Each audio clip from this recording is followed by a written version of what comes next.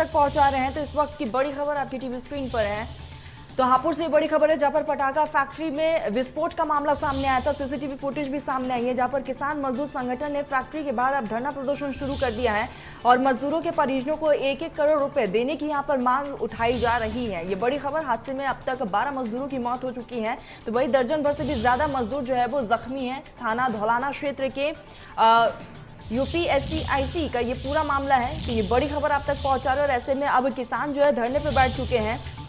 तो तस्वीरें आप तक पहुँचा रहे हैं। हापुड़ की ये तस्वीरें जहाँ पर फटाका फैक्ट्री में विस्फोट के बाद किसानों में आक्रोश देखने को मिल रहा है। किसान मजदूर संगठन ने फैक्ट्री के बाद धरना प्रदर्शन किया है। मजदूरों के परिजनों को अब सहायता राशि देने की मांगे भी लगातार उठाई जा रही है। हादसे में बारह मजदूरों की मौत हुई है, दर्दनाक मौत हुई है और कई लोग जो है जख्मी है। इलाज लगातार जारी है। आखिर विस्फोट किन कारणों से हुआ है, इसको लेकर लगातार अब तफ्तीश जो है वो शुरू हो चुकी है। आपको बता दें कि जिस तरीके से पटाखा फैक्ट्री को एक साल पहले रेंट पे दिया गया था, जिसके बाद से जो है यहाँ पर मौत का कारोबार हो रहा था। और आपको बता दें कि मजदूरों के परिजनों को अब एक करोड़ रुपए देने की मांग की जा रही है, क्योंकि जिस तरीके से हादसा हुआ है, बारह मजदूरों ने अपनी जान गंवा दी है और यहाँ पर सीसीटीवी फुटेज भी सामने आया था और तस्वीरों में साफ़ विस्फोट किस तरीके से हुई है और उसके बाद की वहाँ पर क्या स्थिति रही है, तमाम चीज़ें देखने को भी मिली सीसीटीवी फुटेज में। अब जो है ये मामला तुल पकड़ चुका है। किसान संगठन जो है अब धरने पर बैठे हुए हैं।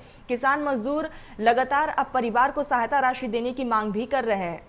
तो किसान मजदूर संगठन ने फैक्ट्री के बाहर धरना प्रदर्शन शुरू कर दिया है। किसान मजदूर संगठन ने अब एक एक करोड़ रुपए परिजनों को देने की मांग सरकार से की है। हादसे में बारह मजदूरों की मौत हुई है। आपको बता दें कि दर्जन भर से ज़्यादा मजदूर जो है जख्मी है, जिनको अस्पताल में भर्ती करवाया गया है। इलाज सभी का जारी है। फ़िलहाल पुलिस भी तफ्तीश में जुटी हुई है कि आखिर जिस तरीके से फैक्ट्री में काम चल रहा था, मौत का कारोबार हो रहा था, उसके लिए लाइसेंस था या नहीं, इसको लेकर जाँच पड़ताल जो है लगातार जारी है। तो यहाँ पर से तस्वीरें आप तक पहुँचा रहे हैं। जहाँ पर किसान संगठन जो है धरने पर बैठे हुए हैं। किसान मजदूर संगठन ने फैक्ट्री के बाहर धरना प्रदर्शन शुरू कर दिया है। मरीजों जिस तरीके से मजदूरों के परिजनों को अब एक एक करोड़ रुपए सहायता राशि देने की मांग जो है वो लगातार उठाई जा रही है। तो धोलाना क्षेत्र का ये पूरा मामला है हापुड़ के। फैक्ट्री के बाहर धरना प्रदर्शन देते हुए किसान संगठन नज़र आ रहे हैं। अब साफ़ तौर पर अब इनकी मांगे है कि परिजनों को सहायता राशि देनी चाहिए और एक करोड़ रुपए देने की यहाँ पर मांग की जा रही है।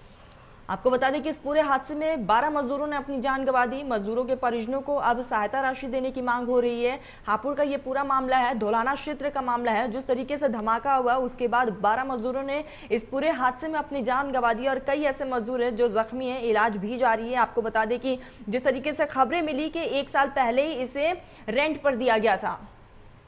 सहयोगी प्रवीण हमारे साथ जुड़ चुके हैं। प्रवीण जिस तरीके से हापुड़ में विस्फोट हुआ और उसके बाद जो है मामला तुल पकड़ चुका है। अब किसान संगठन जो है लगातार धरने पर बैठे हुए क्या कुछ जानकारी मिल रही है? देखिए तरमनुम मैं आपको बता दूँ कि ये पहला कोई मामला नहीं है कि हम्म। इस प्रकार का हादसा हुआ हो। हापुड़ में और भी पहले ऐसे हादसे हो चुके हैं। मगर सबसे बात इस पर निकल कर ये आ रही है तो कहीं ना कहीं जो प्रशासन है पुलिस है उसकी कहीं ना कहीं इसमें लापरवाही रही है। इस हम्म। प्रकार इतना बड़ा हादसा हुआ है तो पंद्रह लोगों ने अपनी जान गंवा दी है और बीस लोग ऐसे हैं जो ज़िंदगी और मौत से जो है जूझ रहे हैं और हॉस्पिटल में भर्ती है और उनके परिजन है। उनका भी जो है बुरा हाल है। तो जो घटना स्थल पर हम गए थे मौका मुआयना किया था ज़ीरो ग्राउंड की जो रिपोर्ट देखी थी तो जिस प्रकार बताया जा रहा कि बॉलर वहाँ फटा है या केमिकल फैक्ट्री में जो हादसा हुआ है तो वहाँ उस प्रकार का किसी प्रकार का नहीं था। वहाँ जो बच्चे जो पटाखा जो छोड़ते हैं वो वाली जो है सामग्री वहाँ पर पूरी थी तो कहीं ना कहीं जो जो विस्फोट हुआ जो पटा पटाखा कहीं ना कहीं बनाए जा रहे थे उसमें अलग हम्म। तरीके से और फैक्ट्री जो थी वो इलेक्ट्रॉनिक आइटम के लिए वहाँ पर अनुबंधित की गई थी उसका था और उसकी आड़ में वो जो है पटाखा फैक्ट्री चला रहे थे और सबसे बड़ी बात यह है कि मालिक इसका कितना साथी रहे जो निकलकर सामने आ रही है बात कि मालिक जो है वो उसने जो है मजदूरों को जो हायर किया जो मजदूर वहाँ काम करने वाले थे वो सभी मजदूर जो है बाहर के अन्य डिस्ट्रिक्टों के वो रहने वाले थे। तो कहीं ना कहीं एक पूरी साजिश का इसमें बड़ा खुलासा होगा और हम्म। नियमों का उसमें पालन नहीं किया गया है तो वो भी सारी जो है जो लापरवाही है वो बिल्कुल प्रवीण और मौत के कारोबार के लिए लाइसेंस भी नहीं था और ऐसे में अब जो है इस पूरे मामले को लेकर क्या कुछ कार्रवाई की गई है फ़िलहाल? देखिए अभी पुलिस ने मुकदमा दर्ज कर लिया है हम्म। दो लोगों के खिलाफ मुकदमा दर्ज किया है और जो, जो मतलब की जो अधिकारी हैं जो स्थानीय जो मतलब की जो स्थानीय अधिकारी है उनसे भी रिपोर्ट मांगी मांगी जा रही है जैसा सुनने में आया है और दोनों जो दो लोगों के खिलाफ जो संचालक थे उनके खिलाफ मुकदमा दर्ज किया गया है और दोनों अभी जो है फरार बताए जा रहे हैं प्रवीण और जिस तरीके से किसान संगठन जो है अब लगातार धरने पर बैठे हुए क्या कुछ आखिर उनकी मांगे हैं देखिए किसान संगठन है किसान संगठन आज जो है वहाँ धरने पर बैठा। किसान के करीबन दर्जनों लोग वहाँ जो कार्यकर्ता और जो नेता थे वहाँ पहुँचे और धरने पर बैठ गए कि मजदूरों को एक करोड़ रुपए का मुआवजा दिया जाए और ये जो है प्रशासन का उनकी तरफ़ से जो है लापरवाही की गई है। मजदूरों की इस तरीके से जो है नॉर्म्स पूरे नहीं किया जाते नियम पूरे नहीं किए जिसके कारण चलते ये हादसे होते हैं। तो ये कहीं ना कहीं प्रशासन और सरकार पर आरोप लगाते हुए एक लाख का उन्होंने मुआवजे की मांग की है और वहाँ पर धरने पर बैठ गए हैं वो धरना प्रदर्शन कर रहे हैं। जी। ठीक प्रवीण नज़र बनाए रखिएगा आगे भी लगातार आपसे अपडेट लेते रहेंगे। फ़िलहाल तमाम जानकारी के लिए आपका बहुत बहुत शुक्रिया। चलिए, फ़िलहाल इस बुलेटिन में बस इतना ही। देश प्रदेश की तमाम बड़ी खबरों के लिए आप देखते रहिए इंडिया न्यूज़